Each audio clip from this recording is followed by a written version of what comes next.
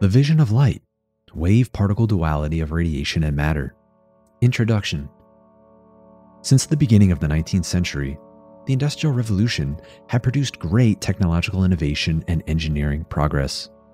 Thanks to new equipment, more accurate experiments were performed and new branches of physics were born spectroscopy, diffraction, interference, and so on. All this remarkable scientific development paved the way for the observation of many unknown phenomena which physics was unable to describe, and thus, gradually, classic physics entered into crisis. In fact, physics is an experimental science. A single experiment may be sufficient to show the inadequacy of a model. Hence, every theory has to be consistent with observations. Since the second half of the 1800s, both electromagnetic radiation and matter had little by little revealed their so called wave particle duality. 1. Radiation, which up to that time had been deemed a wave like behavior only, started to reveal a particle like behavior as well. Symmetrically, matter, always considered particle like, started to show also a wave like behavior. The overcoming of the crisis led to the birth of quantum mechanics, which replaced classic physics in the insight of the world, in model formulation, and in the definition of physical quantities. But let's start our journey from the beginning.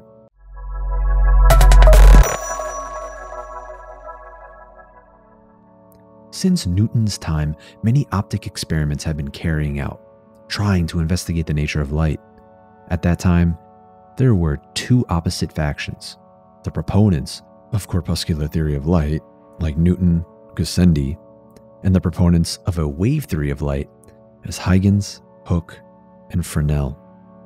It is said that spectroscopy was born in 1672 by the famous Newton's prism experiment. He sent a beam of white light through a glass prism and observed the dispersion of light into rainbow colors. Newton concluded that light was particle like, made up of tiny colored corpuscles which blend to compose white light. He also introduces the term spectrum of colors and divided it into seven colors red, orange, yellow, green, blue, indigo, and violet. In 1678, the Dutch mathematician Christian Huygens refused Newton's corpuscular theory, mathematically demonstrating the laws of reflection and refraction with a wave like model of light.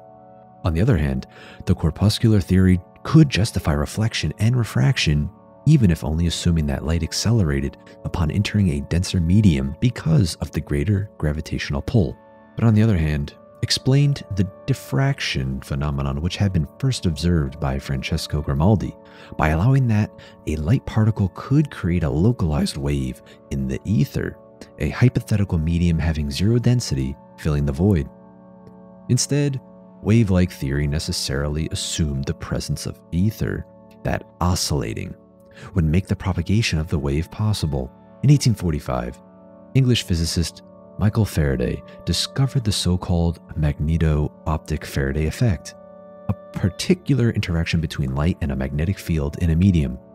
This was significant because it represented the first experimental evidence that light and electromagnetism are related.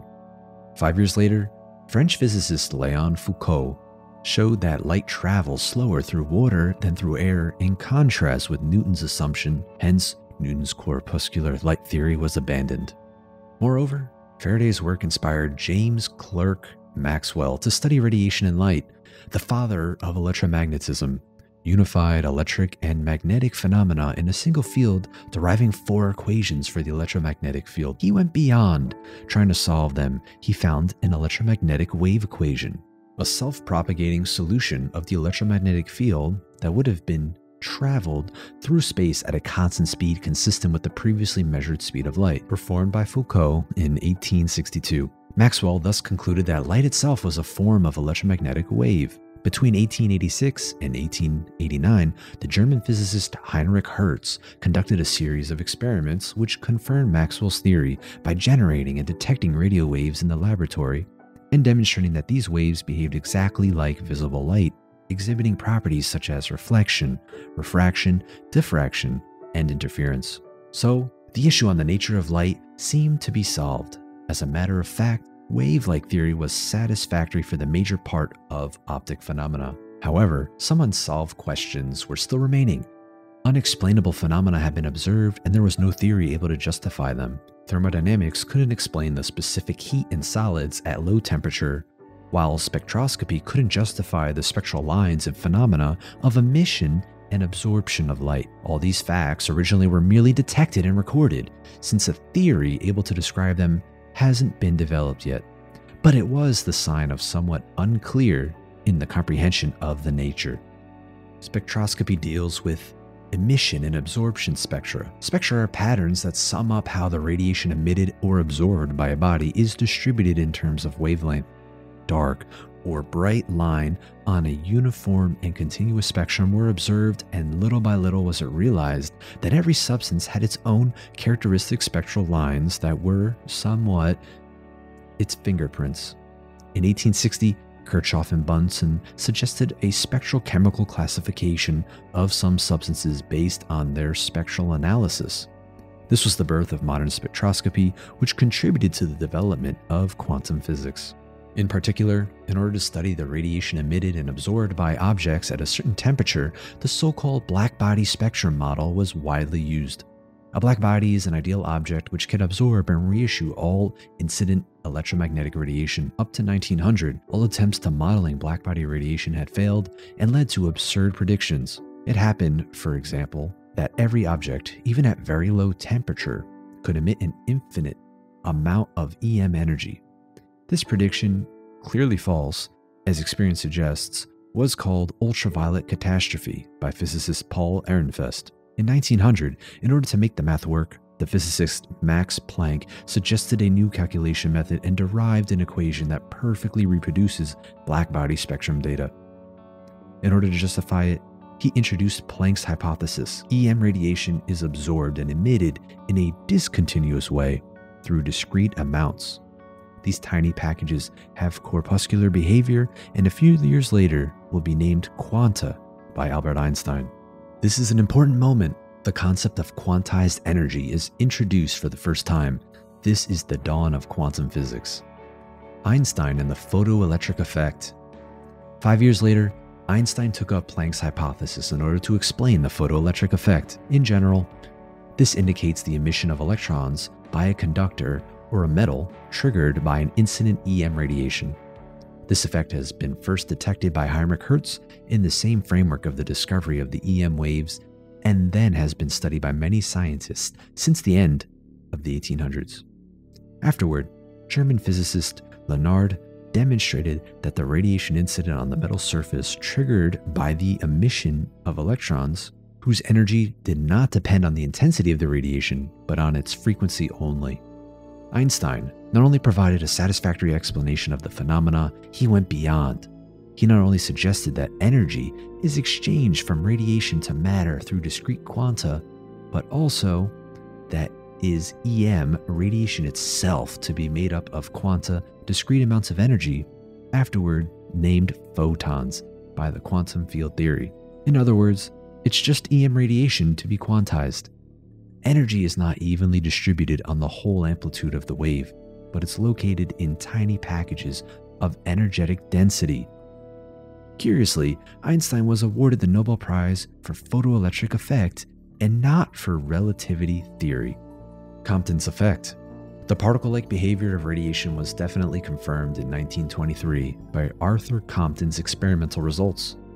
The American physicist sent an X ray beam against a graphite target and observed an X ray scattering with different angles.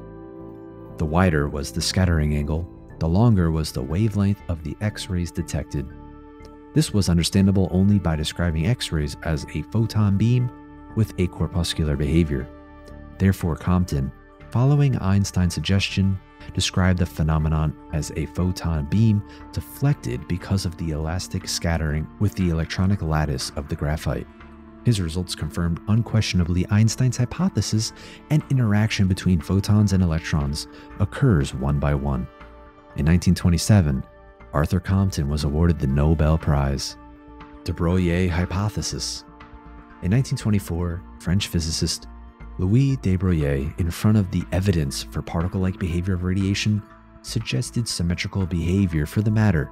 The reasoning was about the following Since we cannot relate electromagnetic waves to particles having a specific amount of energy, why can't we associate material waves with a specific frequency and wavelength to massive particles?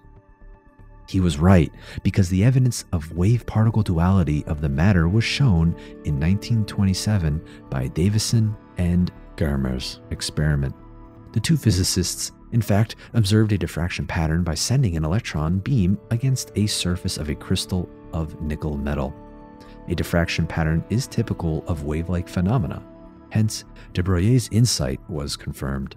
In conclusion, both in the case of radiation and in the case of a massive particle, some phenomena can be justified with the notion of the wave only, and some others with the notion of the particle only.